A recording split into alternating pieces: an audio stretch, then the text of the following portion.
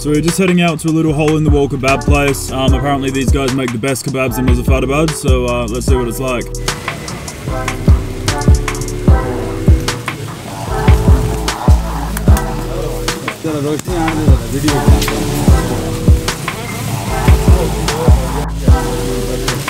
And the cool thing about this place is you can have guy bring the kebab straight to your car. Um, so you don't need to get out. In fact, it's raining at the moment, so it's really, really helpful for us.